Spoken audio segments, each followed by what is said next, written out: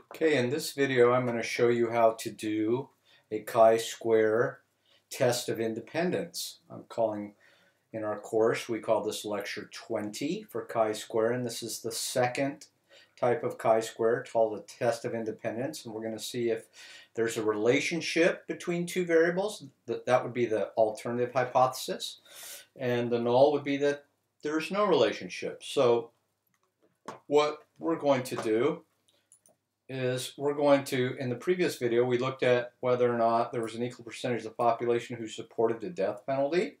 So we have a variable that, we need two nominal variables here. So this is a nominal variable that you either support or oppose it. And we're going to see if there's a relationship to gender. Okay, so we have a another nominal variable. So the null hypothesis is that there's no relationship these two variables are independent of each other, and then the alternative hypothesis that there is a relationship where they are dependent on each other. In the United States, generally speaking, there is a relationship with more males supporting the death penalty than females. Okay, I'm sorry my mouse is acting up. I don't know why that is. Okay, so we would go analyze descriptive statistics, crosstabs. Okay, sorry. I was practicing, so I got this right. So we're going to move over our variables. My friend says it matters which one. You get the same output, so I don't think it matters. So we're going to look at whether or not you support the death penalty and gender. Okay, move those either or. Your two variables go in one of these. Press statistics, choose chi-square, continue. Go to here to cells, we want observed and expected. Recall that um, one of the things that you can, if you have a small data set, you might um, violate an assumption that you need your expected counts to be at least five. So press continue and then OK. Okay, here's your observed and expected counts, or you can see this. I create this for you in the, the text lecture. But here is our test ratio value in step six. And here's our p-value, 0.001. That's less than 0.05. We would reject the null. Step 6 would tell us to reject the null. This is the probability of error. So we would reject the null and say that there is a relationship between these two variables.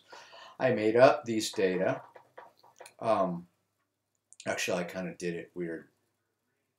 So there's a lot more men that support, support it. So there's 29 men, 26 support only three oppose, whereas females it's a little bit more equal. Okay, so I made up these data. So we have a significant relationship. Remember I said you need to pay attention to whether or not you violate this assumption. Everybody will have this. It'll either tell you that you do or not. This says zero cells have expected counts less than five, so you don't violate this. If you did violate it, you would see that pop up and it would tell you how many cells. So usually at the end of a problem, I'll tell you, tell, I will ask you to tell me what you violated. Okay, so you'd have to pay attention to that. Remember, everybody will violate random sample, um, and you'll need to pay attention with that if you have a small data set, um, with a small n, excuse me.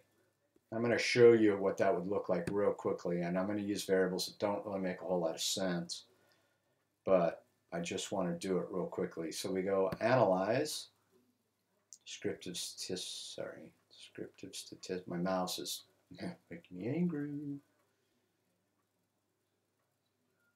Crosstabs. We'll do Pro Tour. The other Pro Tour. Statistics is chi-square. Okay. Cells. Expected. Okay, so this should violate that assumption.